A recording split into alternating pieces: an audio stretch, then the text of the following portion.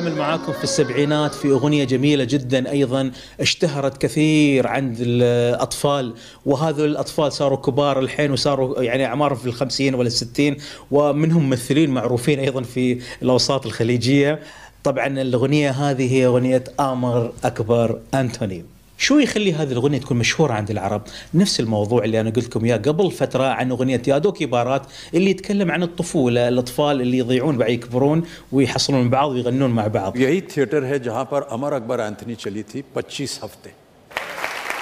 और चिंटू ने बताया कि अमर अकबर एंथनी 25 हफ्ते चली 25 थिएटर में मुंबई सिटी के एक शहर में 25 थिएटर 25 हफ्ते क्या जमाना था वो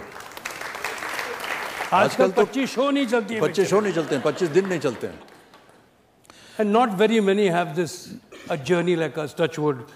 We've been working since 44 years. فهذا الفيلم ايضا الاطفال يضيعون اللي هم الاخوان ويتلاقون مع بعض لكن هني مش ما تكون اغنيه الأط- الطفوله لكن هي تكون اغنيه لتذكير الناس نحن اسامينا امر والثاني اسمه اكبر والثالث اسمه انتوني और उसकी कहानी देखिए अमर अकबर एंथनी का क्लाइमैक्स का गाना है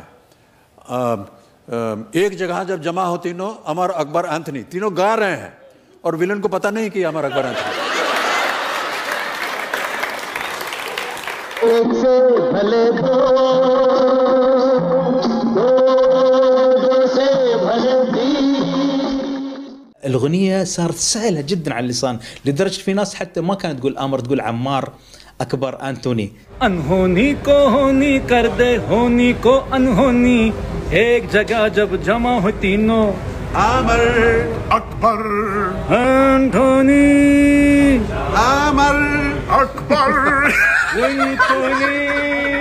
بس خلوه عمار لانه يبا- يبين لك اسم عربي شهرة الأغنية أيضا سببها الرئيسي الأبطال اللي كانوا في هذا الفيلم أميتا باتشن فينود كنا الراحل ورشي كابور الراحلين اللي كانوا في هذه الأغنية